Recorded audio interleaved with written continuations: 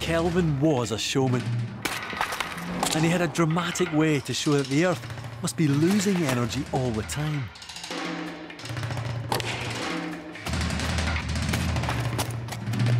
That could have been my head. Here we have our 15 kilogram cannonball. 15 kilos. I lot- can hardly hold it. It's a lot heavier than it looks.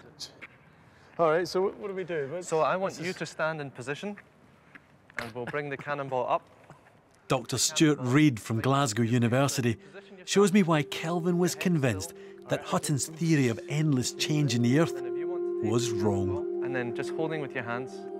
This cannonball is a pendulum. Gosh, everyone's pulling you forward. It's such a weight.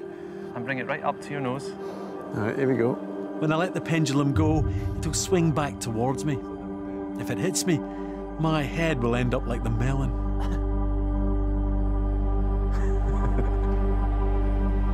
Okay, here we go.